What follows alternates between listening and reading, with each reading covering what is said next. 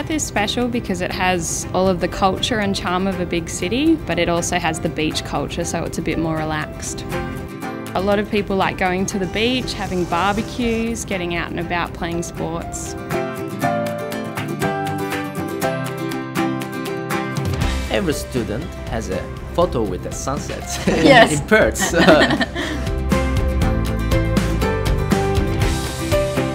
One of my favourite lessons is when we were revising vocabulary. This morning in my class we did a backs to the boards game that's very interactive.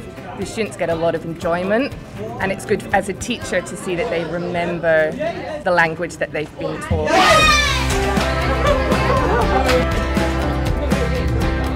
There's so much that's special about Perth.